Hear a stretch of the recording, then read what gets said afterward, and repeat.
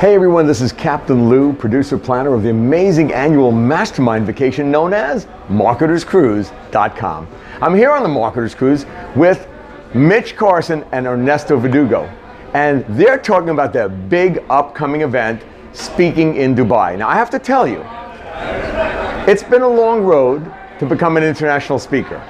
The first step, speaking locally. The second step, speaking around the country and making good money. The third step is the first time I spoke on a stage in London, and then I was officially able to call myself an international speaker, and that's when my business shot through the roof.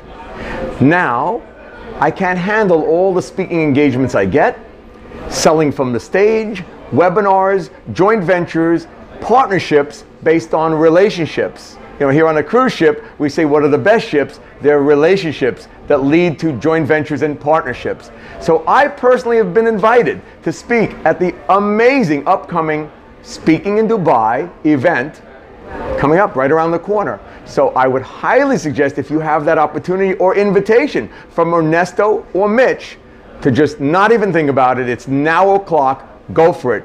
You'll be glad you did.